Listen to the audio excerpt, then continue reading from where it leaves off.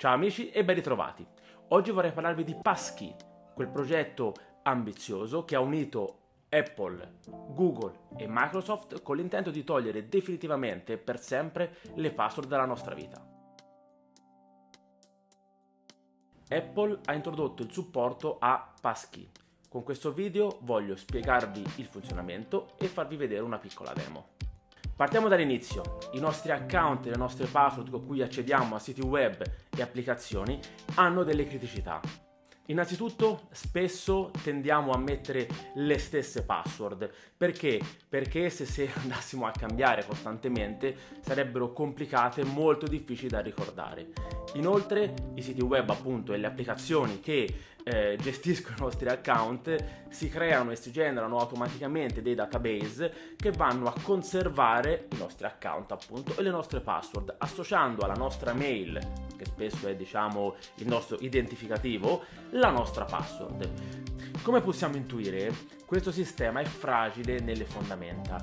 Se il database di un sito viene violato, estranei possono entrare in possesso della nostra password, ma soprattutto del binomio della nostra email e della nostra password ed utilizzarle su altri siti sperando che siano gli stessi.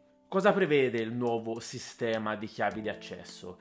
I grandi colossi dell'informatica, sfruttando il riconoscimento biometrico, l'impronta digitale e il ID di cui i nostri smartphone sono muniti, vogliono sostituire le tradizionali password con password più sicure, univoche, uniche per ogni sito o app o comunque servizio a cui noi accediamo.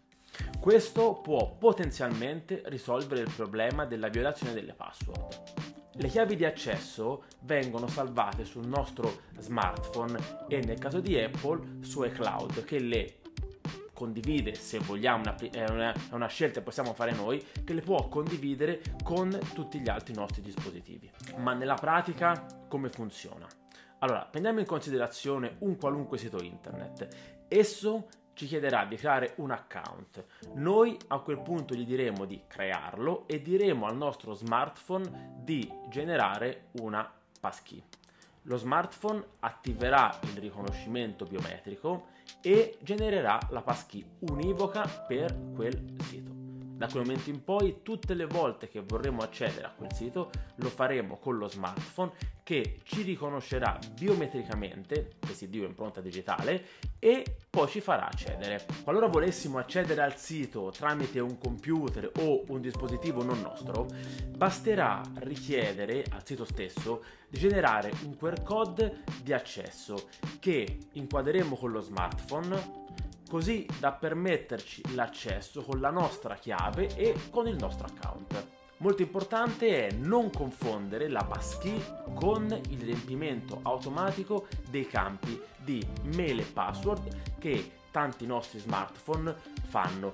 In quel caso la mail e la password sono quelle che noi abbiamo scritto e generato noi e non sono una passkey sicura. Amici, vi ringrazio per la visione se siete arrivati fino a questo punto. Se avete domande scrivetele nei commenti e ci vediamo al prossimo video.